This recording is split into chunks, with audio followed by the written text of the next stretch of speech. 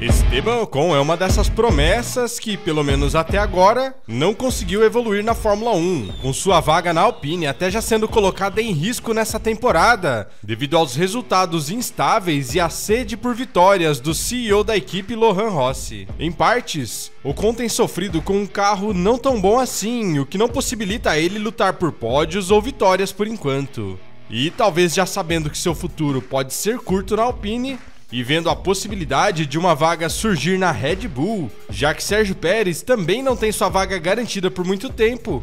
Ocon deu uma declaração confiante e polêmica sobre o que pensa sobre suas habilidades, dizendo: eu me vejo lutando com Verstappen pelo campeonato mundial se tivéssemos o mesmo carro. Max está fazendo um trabalho incrível e está dominando com a Red Bull, mas não me importa quem seja o piloto. Quero lutar pelo campeonato. Sempre acreditei em mim mesmo. Há um longo caminho pela frente, mas meu objetivo é ser campeão do mundo.